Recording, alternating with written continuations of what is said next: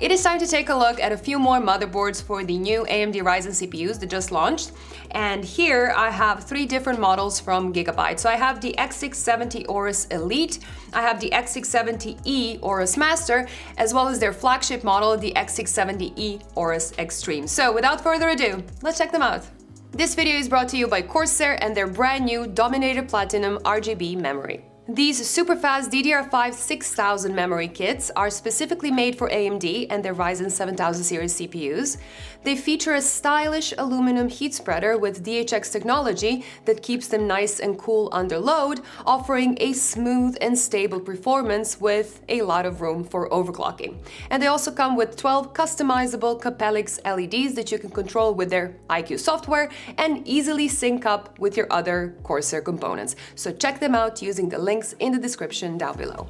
Let's start with the X670 Aorus Elite AX, and this is the only non-E board that I have so far. And the difference between the E and non-E boards is that with the E boards, uh, you're guaranteed to have both a PCIe Gen 5 slot for your GPU and for your SSD, and that you can use them simultaneously. Now, on the non-E boards, uh, you don't get both. It is also one of the few motherboards currently listed under $300 on Newegg. And keep in mind, uh, these new boards have just launched and I do expect the prices to go down over time. But yeah, at $290, it is one of the cheapest boards you can get right now. Visually, it is a pretty decent board. It has a standard ATX size, you get a lot of big metal covers, and I think the gray color scheme would fit really well with most other hardware. Power delivery comes through 16 70 amp power stages, which is actually enough to run a Ryzen 9 7950X with a light overclock. But considering this board will more likely be paired up with a Ryzen 5 or Ryzen 7, this will be more than enough. In terms of connections, it includes four M.2 slots, with one of them being PCIe Gen 5, and all of the M.2 slots have these convenient little clips instead of screws, which makes the SSD installation much easier than before. There are two addressable RGB headers, three RGB ones, you get a Type-C connection, and you actually get two internal USB 3 headers, which is pretty rare to see on a lower position board like this one. So this one will be a great choice if you have a case that has four USB 3 ports on the front panel. Now, like other X670 boards around this price point, you don't get a postcode, but they did actually include some simple physical buttons. The main PCI Express slots are Gen 4, they're not Gen 5, which is not really a problem at the moment because currently uh, GPUs don't really use Gen 5 and not even the upcoming NVIDIA 4000 series will use it. But AMD has promised to support this platform until at least 2025, so having a PCIe Gen 5 slot for the future when Gen 5 GPUs become a reality uh, might not be a bad thing. I do like that they made the clip on the expansion slot a bit larger and a bit higher up, so it is much easier to reach it to remove your GPU. Now the board has only five fan headers total, including the one for your CPU cooler, and this might be fine for some builds, but many ATX boards have six or more, so if you plan on adding more fans, you need to make sure you grab a splitter cable. The ALC 897 audio chip is a big cost down as well, and that is a very low budget chip that doesn't really belong on any boards over $200 in my opinion. So if you do get this one, either buy a simple USB DAC or just use a USB or a wireless headset to uh, avoid the internal audio of this completely. The rear I.O. is pretty impressive with 13 USB ports total, including a 20 gigabit one, but there aren't any USB 4 connections, so there is no Thunderbolt support. And also, there's no optical audio out either. You do get a 2.5 gigabit LAN and Wi-Fi 6E with an external antenna, which is about the same as most 300 to $500 boards have. So even though there are clearly some corners cut here, I still do think that for a lot of users, this is more than you reasonably need and seeing how expensive most of these new boards are, I'm happy that a relatively cheap board still feels pretty reasonable. Now the X670E Aorus Master is a really big step up as this board launches at around $500. Uh, the Master instantly feels very high-end and I think the design is just stunning. It has a lot of metal covering the front of the board and a full metal backplate as well, which is something that you don't even get on a $700 Asus Hero board. Uh, you also get the postcode and proper buttons this time, so this should be a very good hobby board to play with. If you put this in a case though, you need to remember that this is an extended ATX board, so it is wider than a typical ATX one and you will need to make sure that it fits. The power delivery gets an upgrade too, and this board has a 1605 amp power stage setup uh, just for the CPU, and then four more for the memory and SoC.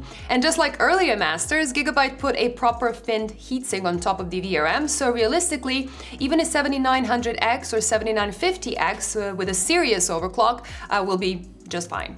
Feature-wise, uh, you still get four M.2 SSD slots, but this time around, two of them support Gen 5, and the main PCIe slot is also Gen 5, so you will be ready for uh, whatever the next generation of GPUs brings.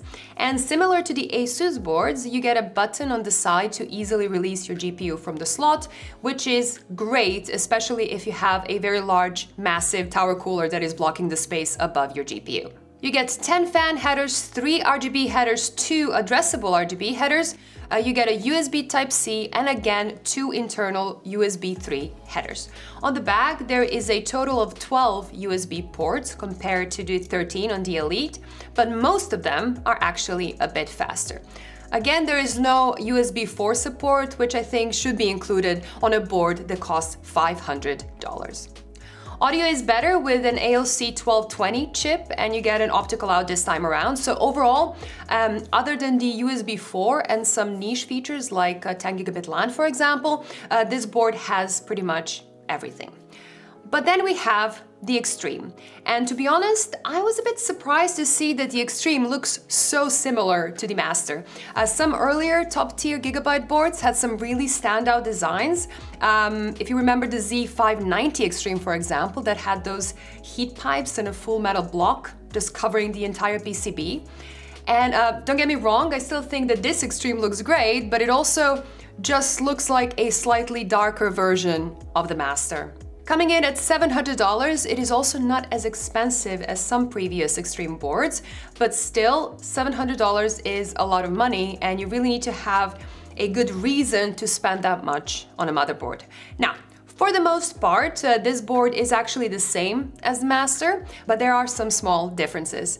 The Extreme also has four M.2 SSD slots, but all four are Gen 5 compared to the two on the Master. The VRMs get a slight bump to 18 plus 4 105 amp power stages, uh, but Master was already an overkill in my opinion. And on the back I.O. you still get 12 USB ports, but the 2.5 gigabit LAN is replaced by a 10 gigabit LAN. So that is great if you have a 10 gigabit LAN at home and something that would actually cost you uh, 50 to $70 extra if you had to buy an add-in card later. Unfortunately, this board also doesn't support uh, USB 4, so you won't be able to use super fast external drives and Thunderbolt 3 devices. And in my opinion, that is a big shame for the highest positioned motherboard in their lineup. You do get, however, an external DAC for the improved audio, so Gigabyte is definitely adding some extra value here. So I think if you really need a DAC, the 10 gigabit LAN and the four Gen 5 SSDs, it might justify those $200 or so over the Master. If not, there is actually no need to spend this much. When it comes to the BIOS, it seems like Gigabyte has made some big steps in recent years, and their current BIOS is pretty easy to work with because they've taken on most of the convenient features that we've seen from others over the years.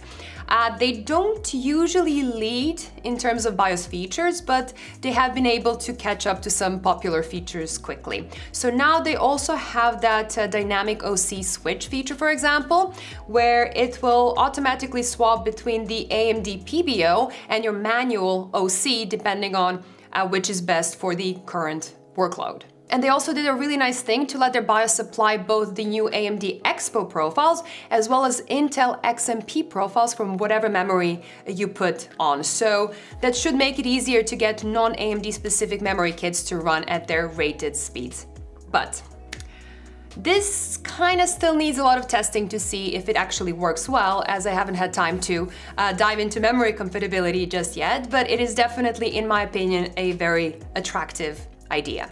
Anyway, Between these three boards, the $700 Extreme is a bit ridiculous and since it only has a few specific upgrades over the Master, you should only consider it if it just happens to perfectly fit uh, your use case.